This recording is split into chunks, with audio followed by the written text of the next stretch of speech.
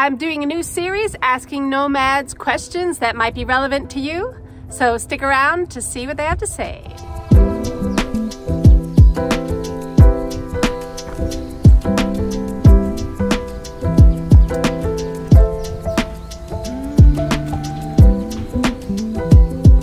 I was just at a little gathering with some of my nomad friends. And while we were mainly there to have fun and celebrate the coming holidays, I couldn't pass up the opportunity to ask them some very important questions. And whether you are contemplating van life or RV living or figuring out how to be a nomad in some way, shape, or form, I hope that this series is helpful to you. Last one has arrived!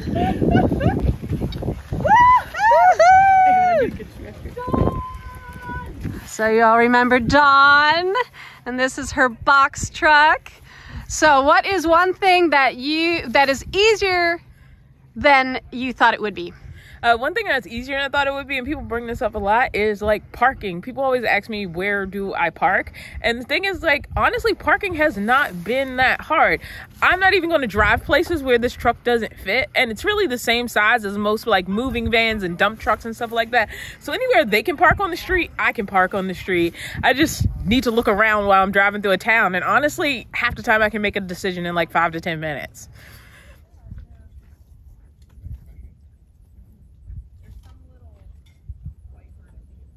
So something that's easier than I thought it would be is just honestly where you sleep each night. Like if you're in a pinch, you can pull that off pretty easily. I mean, I fit in the truck like just a regular parking spot, but there's like kind of an obvious tell.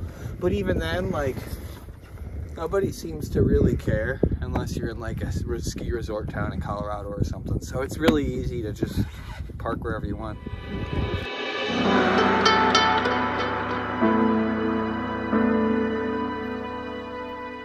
Something easier than I thought would be was adding more battery power and solar. And that was a lot easier than I thought it would be.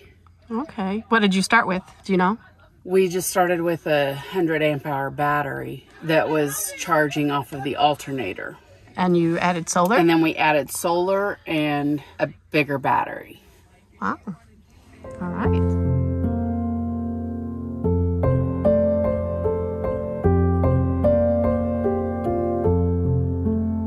So you guys might remember Kai.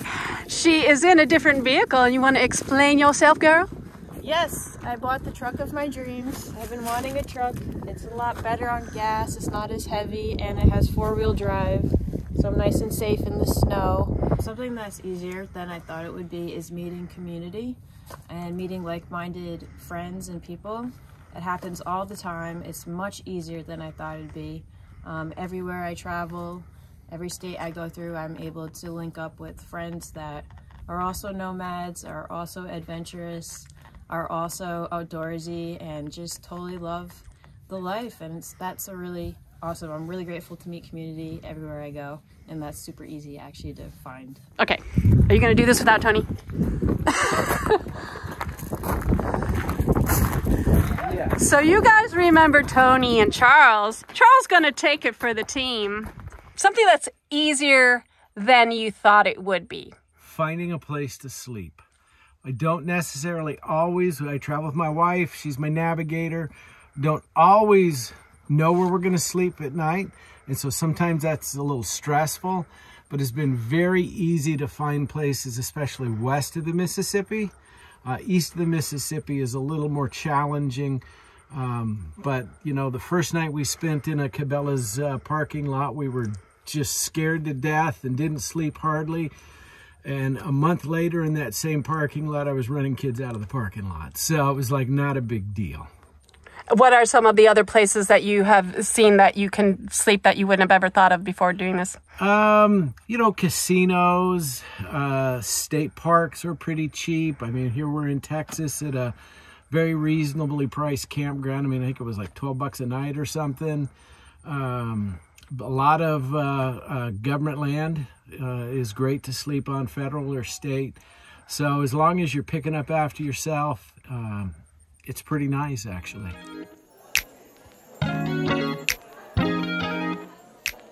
Something that I find easier is actually finding campsites.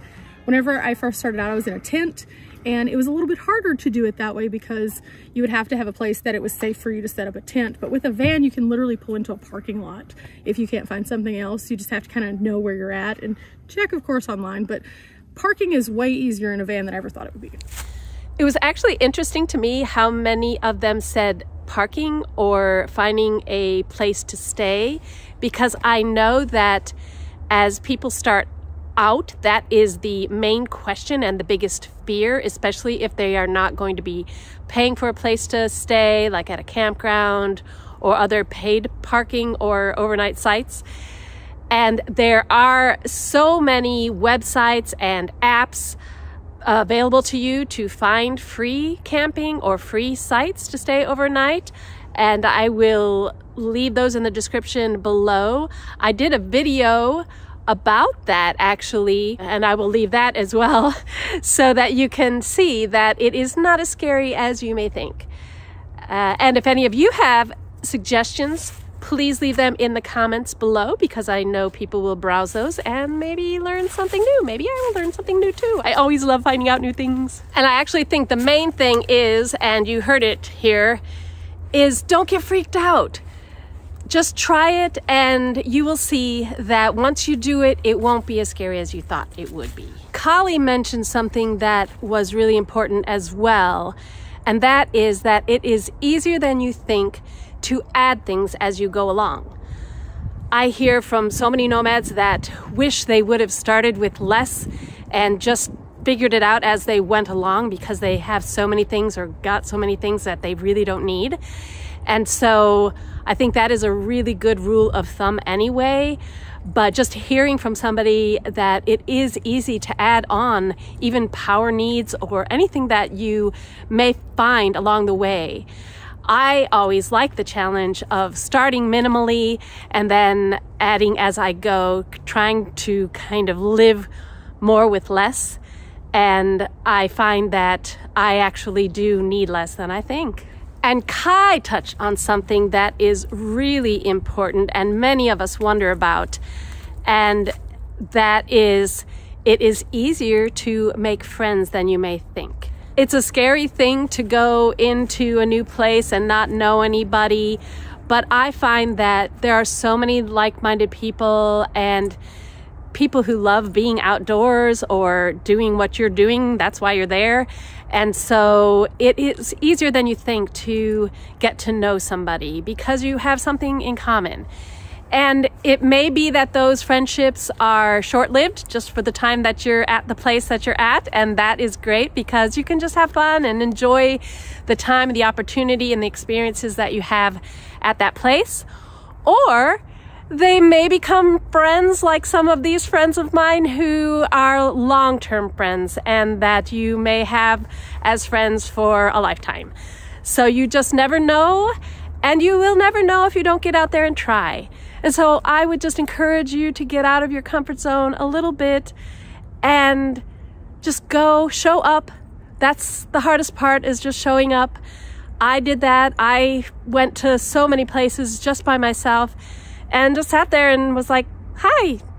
And that's all you have to do is just say hi or sit outside your van or your RV or whatever you got, truck, car, and be available because that is when people know that you are approachable.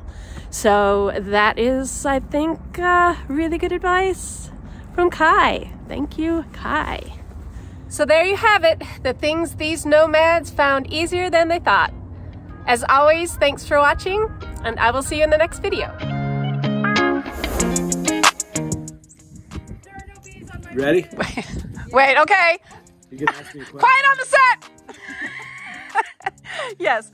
So what is something that you didn't know you needed, but now you can't live without? Bucky. I need my Bucky. Buc-ee's good. Buc-ee's my navigator. Bucky takes me where I need to go. And I can get a rocket launcher, I get a smoker, and a brisket sandwich and a Coke for the road, and we're all good to go.